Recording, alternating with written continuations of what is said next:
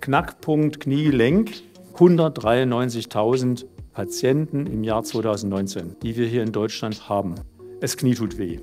Mein Leidensdruck ist ziemlich hoch. Da muss jetzt irgendwas passieren. Beim Knie können Sie den Zeitpunkt und den Ort als Patient selbst bestimmen. Und das macht es natürlich schwierig, weil das kann Sie überfordern, beides. Ja, wo gehe ich denn hin? Die Klinik Bad Windsheim ist im Jahr 2022, was Roboterarm unterstützte Operationen angeht, an der zweiten Stelle der häufigsten Operationen in Bayern. Das ist jetzt die Vorbereitung dazu, wo ich jetzt sage, okay, die Planung ist jetzt beendet, jetzt geht's los.